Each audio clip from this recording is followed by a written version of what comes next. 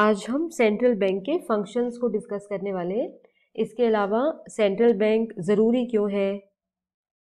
इससे रिलेटेड और important facts उन सबको भी देखेंगे, जो एग्ज़ाम पॉइंट ऑफ़ व्यू से इंपॉर्टेंट हो सकते हैं। तो सबसे पहली बात अगर हम देखें सेंट्रल बैंक जो होता है, हर कंट्री में होता है, हम जानते हैं।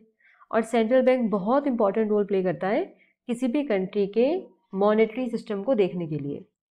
जो भी मौद्रिक व्यवस्था है किसी कंट्री की, वो काफ़ी हद तक उस देश के केंद्रीय बैंक पे डिपेंड करता है कि वो किस तरह से चीज़ों को मैनेज करते हैं। तो ये बहुत ही इंपॉर्टेंट है। तो इस तरह से हर कंट्री के अंदर एक सेंट्रल बैंक होगा। नाम कुछ भी हो सकता है। सब कंट्री का अलग अलग होता है। हमारी कंट्री में हम आर बुलाते हैं। तो हर कंट्री के अंदर एक तो सेंट्रल बैंक होगा। उसके बाद इसके नीचे या इसके अंदर बहुत सारे और बैंक्स होते हैं, जिसे हम कमर्शियल बैंक कहते हैं। वाणिज्यिक बैंक्स कहते हैं। अब ये आरबीआई इन पे कंट्रोल रखता है। इनको बड़े सारे सिचुएशन में हेल्प करता है। जैसे अगर हम देखें तो कमर्शियल बैंक क्या होता है? कमर्शियल बैंक जो वाणिज्यिक बैंक है, वहाँ पे क्या होगा?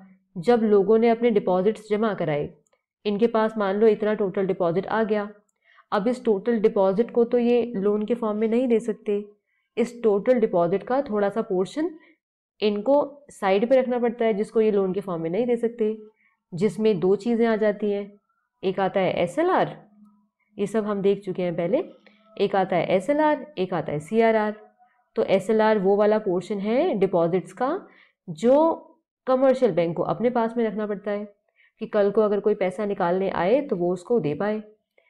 सीआरआर वो वाला परसेंटेज है जो इनको आरबीआई के पास में रखवाना पड़ता है। तो अब क्या हुआ? इतना ये रख रहा है अपने पास में? एसएलआर वाला अपने पास में रख रहा है। पर अगर कभी ऐसा हुआ कि लोग ज़्यादा आ गए पैसे निकालने?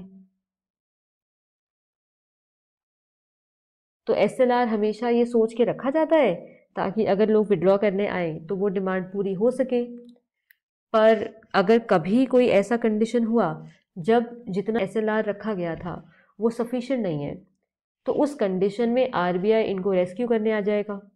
आरबीआई इनको फंड्स दे देगा। तो आरबीआई क्राइसिस के टाइम पे कमर्शियल बैंक को हेल्प करता है। इसके अलावा भी इसके बहुत सारे फ़ंक्शंस हैं। अब इसको बारी बारी देखते हैं।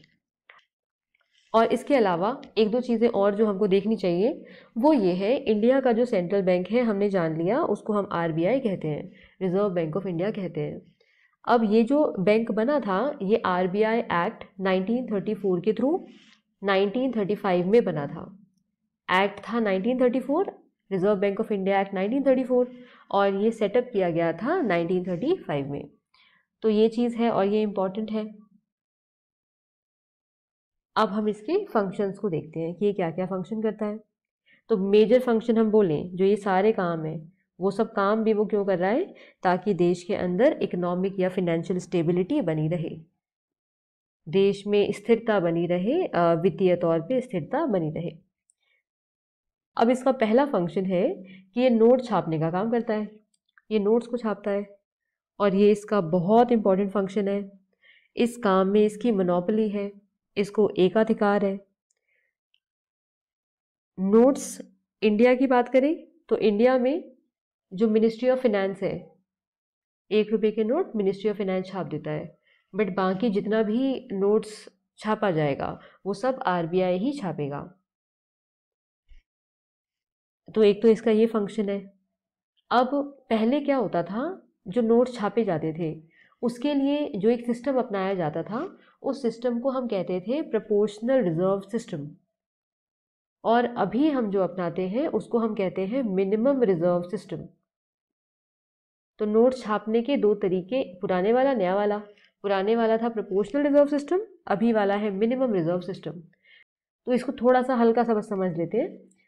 तो प्रोपोर्शनल रिज़र्व सिस्टम में क्या होता था कि आप जितना नोट छाप रहे हो, उसका एक सर्टेन परसेंटेज जो डिसाइड किया जाएगा गवर्नमेंट के थ्रू उसका एक सर्टेन परसेंटेज हमको गोल्ड या फॉरेन सिक्योरिटीज़ के फॉर्म में रखना पड़ेगा।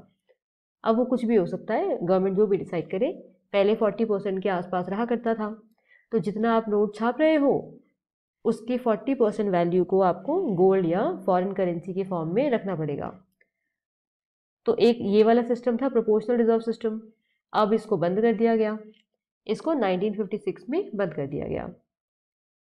उसके बाद सिस्टम लेके आए, जिसको हम कहते हैं मिनिमम रिज़र्व सिस्टम जो अभी भी चलता है।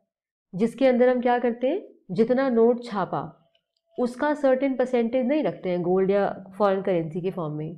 हमने पहले से सोच के रखा है कि हम एक सर्टेन वैल्यू का गोल्ड और फॉरेन करेंसी अपने पास में रखेंगे। उसका कोई कनेक्शन नहीं है कि आप कितने नोट छाप रहे हो उसे। उतना हमने मिनिमम सोच के रखा है कि हम इतना मैनेज करेंगे, इतना हम रखा करेंगे। तो वो टू हंड्रेड करोड़ फ़िलहाल है। गोल्ड के फॉर्म में, बाकी फॉरेन करेंसी के फॉर्म में इस तरह से इसको रखा जाता है। तो ये दो सिस्टम थे। अभी नया वाला सिस्टम हम देख रहे हैं मिनिमम रिज़र्व सिस्टम उसको कहा जाता है। अब दूसरा फ़ंक्शन है इसका बैंकर्स टू दी स्टेट या बैंकर्स टू दी गवर्नमेंट हम कुछ भी कह सकते हैं। तो गवर्नमेंट का बैंक है सेंट्रल बैंक इसका क्या मतलब है? तो गवर्नमेंट के जितने भी बैलेंसेस होंगे गवर्नमेंट के पास जितने भी बैलेंस होंगे, वो सब वो आरबीआई के पास में रखवाता है।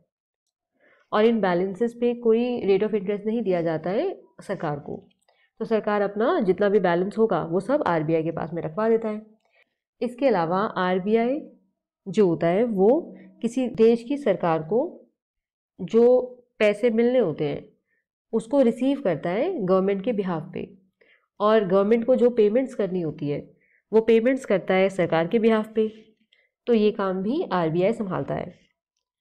इनके अलावा हम देखें तो central bank short term loans provide करता है गवर्नमेंट को। गवर्नमेंट को अगर पैसे की ज़रूरत हुई तो उस टाइम पे ये उनको शॉर्ट टर्म लोन प्रोवाइड कर देता है। इसके अलावा भी और बहुत सारे काम हमारा आरबीआई गवर्नमेंट के लिए करेगा। एक और इसी के अंदर अगर हम माने, जो इंपॉर्टेंट फ़ंक्शन है, वो फ़ंक्शन ये है कि सेंट्रल बैंक एडवाइस भी करता है सरकार को। सेंट्रल बैंक सरकार को एडवाइस भी करता है कई चीज़ों को लेके। फिनेंशियल मैटर्स पे उनको एडवाइस भी करता है कि उनको क्या करना चाहिए। अब तीसरा फ़ंक्शन है कि ये बैंकर का बैंक है। अब इसमें बहुत सारी चीज़ें आती हैं। तो ये बैंकर्स का बैंक है। बैंकर्स का बैंक है, इसका मतलब क्या हुआ? कि ये पहला काम तो ये करता है कि ये बैंक जो होते हैं कमर्शियल बैंक है, वाणिज्यिक बैंक है, उनके रिजर्व्स को अपने पास में रखता है। जो हमने अभी पढ़ा कैश रिज़र्व रेशियो जो होता है, वो कमर्शियल बैंक जो होते हैं आरबीआई के पास में रखवाते हैं। तो वो रिज़र्व को संभालना, उसको, उसकी देख रेख करना, ये आरबीआई का काम है। तो वो रिजर्व्स का कस्टोडियन है। पहला काम तो इसका ये है। दूसरा काम है इसका कि ये लेंडर ऑफ़ लास्ट रिजॉर्ट है, जो हम ये कहते हैं लेंडर ऑफ़ लास्ट रिजॉर्ट कि अगर जो कमर्शियल बैंक्स हैं, उनको पैसे की ज़रूरत है तो आरबीआई उनको लोन प्रोवाइड करा देता है। हमको पैसे की ज़रूरत होती है तो हम कमर्शियल बैंक के पास जाते हैं। कभी कमर्शियल बैंक को पैसे की ज़रूरत हुई तो वो आरबीआई के पास में जाता है। तो हम इसको लेंडर ऑफ़ लास्ट रिजॉर्ट कहते हैं। इसका, इसके अलावा फ़ंक्शन होता है क्लियरिंग हाउस तो it also acts as clearing house for commercial banks तो कमर्शियल बैंक्स के लिए ये क्लियरिंग हाउस का काम भी करता है. उसके पास में हर बैंक का अकाउंट है. हर कमर्शियल बैंक का अकाउंट है. साथ में आरबीआई के पास में हर कमर्शियल बैंक का रिज़र्व भी है, जो हर बैंक को रखवाना पड़ता है. ये दोनों चीज़ें हैं. तो अगर ऐसा हो कि एक कमर्शियल बैंक को दूसरे कमर्शियल बैंक को कुछ पेमेंट करना है तो उस सिचुएशन में ऐसी सेटलमेंट जो है, वो आरबीआई खुद ही कर देता है। आरबीआई के पास में तो दोनों बैंक के रिजर्व्स हैं तो आरबीआई एक बैंक के रिज़र्व को दूसरे में ट्रांसफ़र कर देगा। अब हम जानते हैं एक बैंक के रिज़र्व को खुद से ही उसको ट्रांसफ़र कर देगा दूसरे वाले को। अब हम जानते हैं कि जो रिज़र्व मेंटेन करना होता है आरबीआई के पास में, अगर मानो ये वाला जो बैंक था, इसको काफ़ी सारी पेमेंट करनी थी इस वाले बैंक को। तो आरबीआई ने इसके वाले रिज़र्व से काफ़ी सारी पेमेंट कर दी दूसरे बैंक को। तो ऐसे केस में इसका जो सीआरआर था, जितना आरबीआई के पास में मेंटेन होना था, वो तो कम हो जाएगा। जितना होना चाहिए था, उससे कम हो जाएगा। तो ऐसे केस में जो कमर्शियल बैंक है, उसको कहा जाता है कि वो उस कमी को अगर किसी वजह से हो गई, क्योंकि पेमेंट्स बहुत मेजर थी तो ऐसी कंडीशन में वो कमर्शियल बैंक उस कमी को पूरा कर देगा। क्योंकि उसे उतना, जितना भी डिसाइड होगा सीआरआर उतना रखवाना ही होगा आरबीआई के पास में। तो अगर पेमेंट्स की वजह से वो कम हो गया तो ऐसे सिचुएशन में कमर्शियल बैंक को उसको वापस से मैनेज करने को कहा जाएगा। तो ये हो गया इसका एक फ़ंक्शन इसके अलावा इसका फ़ंक्शन है कि ये क्रेडिट को कंट्रोल करता है। तो इसमें हम जानते हैं क्या होता है? कभी कभी जो हमारी इकोनॉमी होती है, उसमें हम देखते हैं इन्फ्लेशन का प्रॉब्लम आ जाता है, कई बार डिफ्लेशन का प्रॉब्लम आ जाता है। और दोनों ही प्रॉब्लम सीवियर प्रॉब्लम हो जाती हैं, क्योंकि इससे लोगों को बहुत दिक्कतों का सामना करना पड़ता है। तो ऐसे कंडीशन में हमारा जो सेंट्रल बैंक है आरबीआई है, वो कोशिश करेगा कि इकोनॉमिक स्टेबिलिटी जो है बनी रहे, आर्थिक स्थिरता बनी रहे, बहुत ज़्यादा चीज़ें फ्लक्चुएट ना करें, कि प्राइस बहुत ज़्यादा बढ़ गए या बहुत ज़्यादा कम हो गए, दोनों सिचुएशन ही हार्मफुल है। तो ऐसा ना हो, इसकी कोशिश हमारा आरबीआई करेगा। अब कैसे करेगा तो वो हम पहले ही पढ़ चुके हैं। कि कुछ मेजर्स होते हैं, मात्रात्मक और गुणात्मक क्वांटिटेटिव और क्वालिटेटिव उन मेजर्स को वो अपनाएगा। तो एक दो अगर एग्ज़ाम्पल बोलें तो सीआरआर हो गया एस हो गया बैंक रेट है repo rate reverse repo rate ये सारा हमने देखा हुआ है। तो ये सारे मेजर्स को वो ठीक तरह से अपनाएगा ताकि वो इन्फ्लेशन या डिफ्लेशन जैसी प्रॉब्लम से निकल सके इकोनॉमी को निकाल सके। तो ये हो गया। लेंडर ऑफ़ लास्ट रिजॉर्ट हम देख चुके हैं। कि अगर कमर्शियल बैंक्स को कोई पैसे वाला क्राइसिस हो गया, ज़्यादा लोग पैसे निकालने आ गए, उनके पास में है नहीं, या और किसी वजह से उसको लोन की ज़रूरत है तो ऐसे टाइम में जो रिज़र्व बैंक है, वो उनको लोन प्रोवाइड कर देगा।